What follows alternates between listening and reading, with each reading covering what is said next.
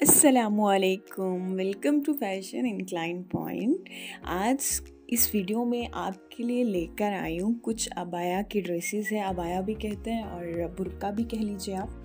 बहुत different different designs हैं इसमें।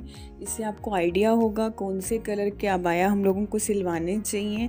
और कौन सा कॉम्बिनेशन अगर ओपन बुरका यानी कि ओपन अबाया है तो उसमें कौन सा कॉम्बिनेशन करना चाहिए? इसमें कुछ आइडियाज़ ओपन बुरका के भी हैं। एक दो मैंने इसमें प्रिंटेड बुरकाज के भी दिए हैं और इंशाल्लाह मैं नेक्स्ट वीडियो में आपको प्रिंटेड बुरके की एक वीडियो बनाकर इस पर डाल दूँगी। और बहुत सारे डिफरेंट डिफरेंट आइडियाज़ हैं डिज़ाइंस हैं इंशाल्लाह आपको कोई ना कोई इसमें बहुत ज़्यादा अच्छा लगेगा। तो जो अच्छा लगे तो आप वैसा अपना डिज़ाइन करा लीजिए अबाया और बहुत ही इजीली फैब्रिक भी अवेलेबल हो जाता है। जब हम अपना फैब्रिक पर सिलवाते हैं तो अपनी डिज़ाइंस कुछ भी डलवा सकते हैं, कुछ भी अपना कोई भी डिज़ाइन डलवा दो तो उससे ज़्यादा और अच्छी ग्रेस आ जाती है हमारे अबाया में।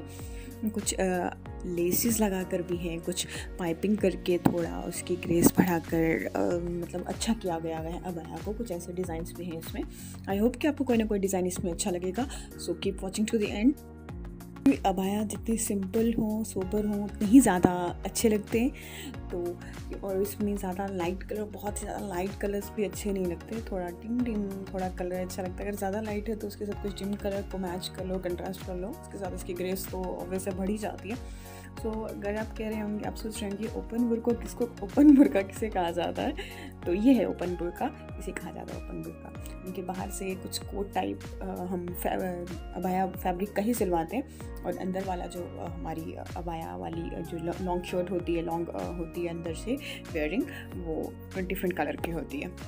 तो इसी के साथ अच्छा लगा so please subscribe and like and share तब तक के लिए अल्लाह हाफिज़ बाय बाय